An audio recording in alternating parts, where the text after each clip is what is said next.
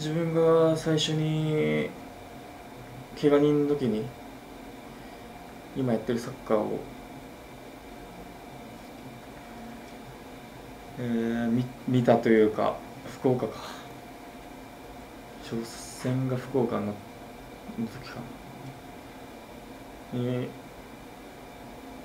初めて上からこう見てなんというかこう初見殺しのサッカーなんだろうなっていうのはうすうす感じてましたしだからこのサッカーを本当にこうマリノスならマリノスみたいに極めていかないと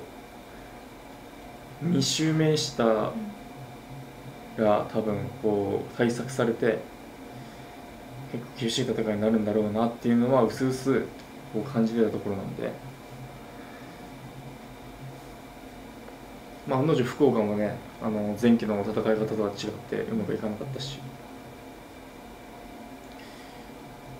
まあ、自分たちのその完成度を求めるのか他に何かプラスアルファで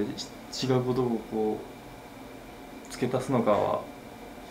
まあ、ただ試合中にこう無理だなと思った時に選手たちがそれをやめられるか違うこう判断に変えていかないいけるかっていうのはやっぱ大事かなと思います。ミッドプレーはナイス地味なプレーで頑張ります。派手付けは山原さんの方に行ってください。他の機能なくてもあってもなくても。いやでもまだ1試合をまあ意思統一できてない選手とかやりたいことが